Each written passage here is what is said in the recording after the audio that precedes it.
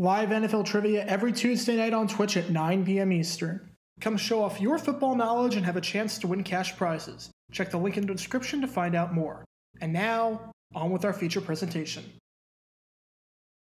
Who doesn't love a good, well executed lateral play?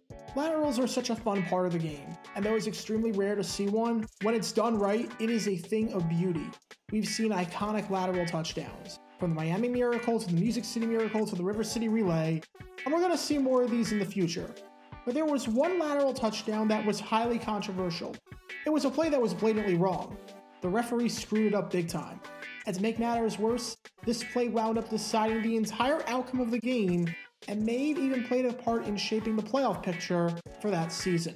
In a 1977 game between the Minnesota Vikings and the Detroit Lions, a play happened that might earn the distinction of being the most controversial regular season lateral in the history of the NFL.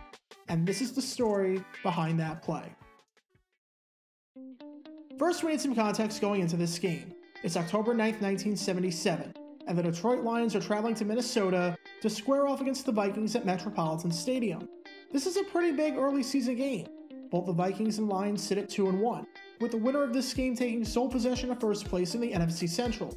Remember that back then, only four teams made the postseason in each conference, and they only played 14 games, so whoever won this game would receive a massive boost in their playoff chances. And the Minnesota Vikings were led by head coach Bud Grant, who used to coach in the Canadian Football League.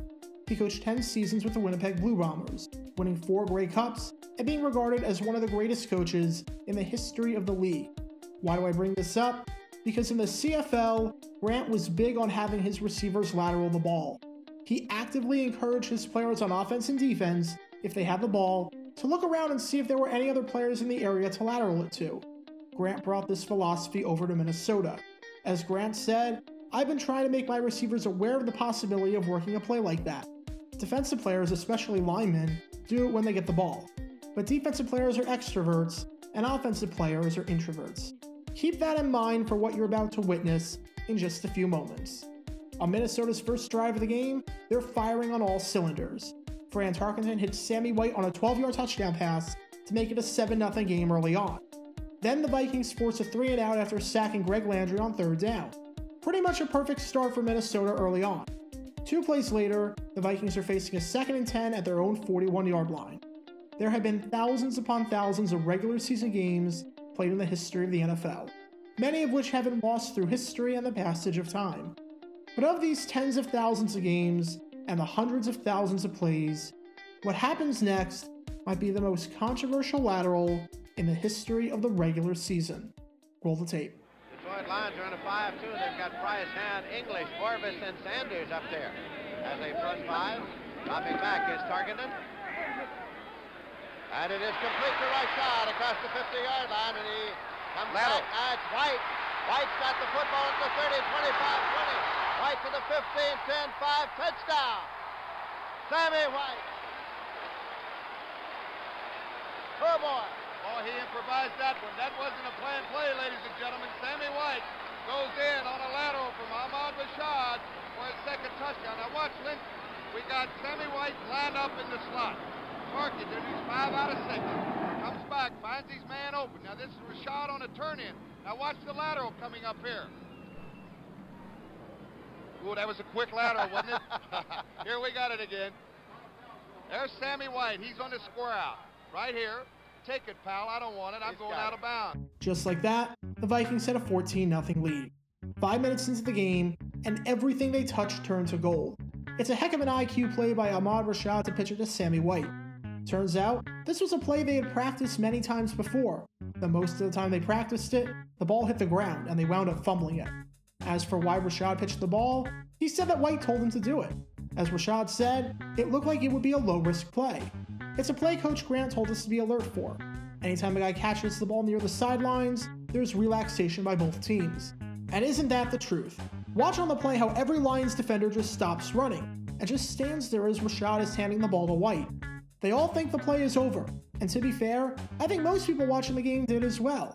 But that's why you play until the whistle. Except there was one small problem. The whistle absolutely should have been blown here. Look at where White catches the ball. His foot is on the white, well out of bounds. you don't even need to blow up the image or examine every blade of grass on the beaten up field at the Met. The vast majority of his foot is standing out of bounds. There was a referee right there, but he just didn't see it. And there was no instant replay back then, as that wouldn't come about until 1986. That meant that the call stood. But the Lions definitely saw it.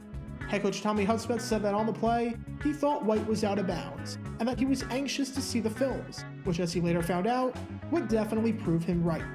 Defensive back Walt Williams said that the play would be proven in the films, and eventual Hall of Fame safety Lem Barney said that the team stopped playing because everyone thought he had gone out of bounds. Again, it looked pretty clear that White was out, and this play should have been blown dead at the spot. Cool looking play, but again, not even the slightest bit legal. And to make matters worse, the Lions lost the game by 7 points. The game deciding touchdown turned out to be that play. Obviously, the Lions still had 55 minutes to score and make amends. And obviously, the Vikings could have still scored on the drive if the lateral was blown dead at the spot where White went out of bounds. But the fact that the Lions lost by a touchdown, and the touchdown that they lost on was a play that should not have counted, definitely raised a few eyebrows. And if that wasn't bad enough, this lateral maybe wound up changing the entire playoff picture. Again, playing the game of hypotheticals with a first quarter lateral touchdown is a dangerous game to play, especially since there was plenty of time for the Lions to overcome it, and since the Vikings easily could have scored on the drive without it. But suppose, for the sake of argument, that the touchdown did not count, got wiped off the board, and everything stayed the same, with the Vikings tying it. The Vikings would have finished the season with an 8 5 1 record. In real life, the Vikings won the NFC Central at 9 5, edging out the Chicago Bears for the division title. Under this hypothetical, however, the Bears win it. In fact, the Vikings don't even make the postseason. In 1977, Washington missed out on the wild card with a 9 5 record. If that play is called correctly and everything else stays the same, the Bears win the division, Washington gets the wild card, and Minnesota is on the outside looking in. As cool as this play was, it seemed blatantly obvious that this should not have counted. Add in the fact that it decided the game and may have wound up deciding the entire playoff picture, well, you've got the ingredients for the most controversial regular season lateral in the over century long history of the National Football League. Be sure to like this video, ring the notification bell, and subscribe down below if you haven't already, as it helps the channel out a lot. And be sure to check out Twitch every Tuesday night at 9 p.m. Eastern for your chance to play NFL trivia and win cash prizes. Link in the description below. If you want to see videos like this condensed down to 60 seconds, then follow me on TikTok at JaguarGator9 and subscribe to 60 Second NFL History on YouTube.